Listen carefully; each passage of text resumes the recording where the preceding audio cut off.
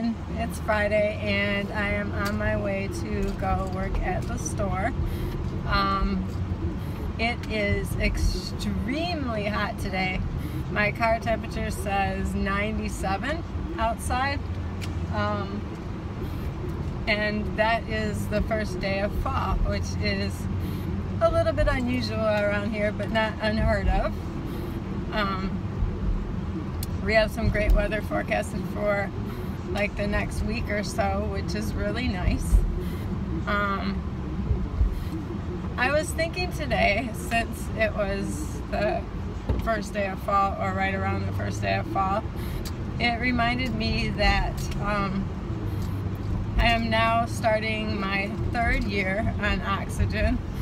So in other words, um, two years ago in September of 2015 is when I went into the hospital and was in the intensive care unit um, for congestive heart failure.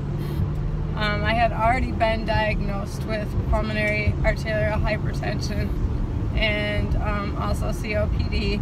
I was being treated by a regular heart doctor, which obviously in hindsight turned out to be the wrong move on my part. Um, I really should have seen a specialist from the very beginning, a PH specialist. Um, but in any case, uh, yeah, this reminded me that um, I am starting my third year and that two years ago, right around um, today, I wasn't even sure if I would be alive in the next um, two to three years. So um, I am happy to say I am still here. Yay! And I feel like I'm doing quite well. Um, I'm not my old normal, but um, my new normal is um, active and out doing stuff all the time, um, which I really did not think when when I even first thought about the concept of going on oxygen.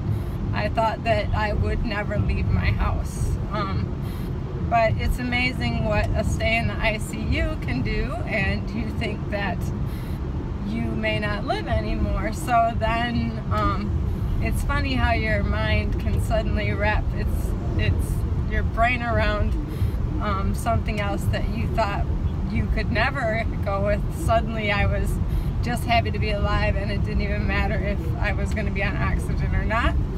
Um, so even though I would prefer not to be, um, I am happy to be here and happy to be able to do all the things that I am still doing.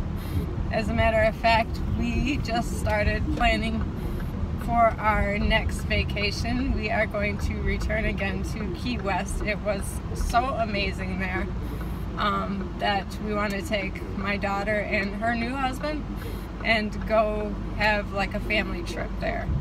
Um, I think they would absolutely love it. And um, the cottage we stayed in was big enough for all of us. It had two bedrooms and um, I don't know, I think it's going to be an amazing time. So I'm happy to say that, yeah, we started planning for that. Um, we are starting to book our reservations and um, get the flight stuff aligned.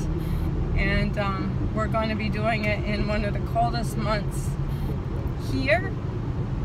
Um, so it'll be a fantastic break from the weather.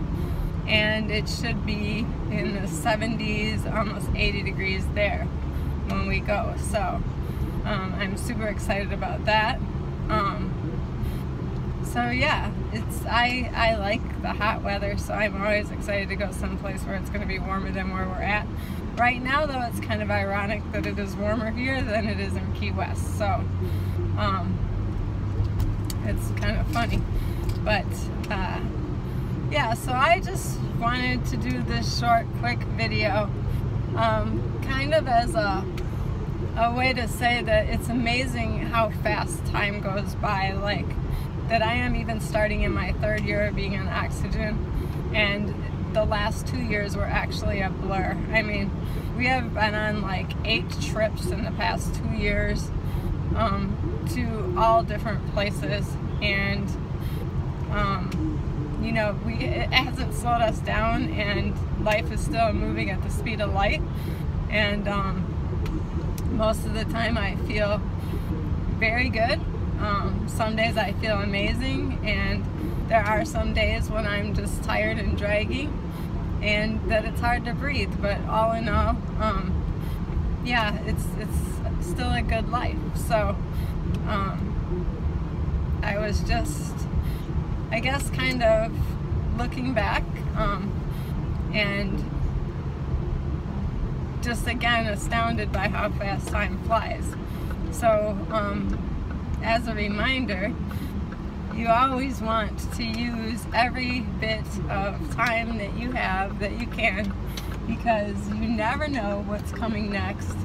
And it's amazing how fast things go. So um, you know you try to slow it down and take every day to where you appreciate the day that you have and um, just all the details of it and take it all in and soak it all up. And then so at the end of the day you can look back and say yeah that was another good day. And I often have those and it keeps me happy and makes me happy. So um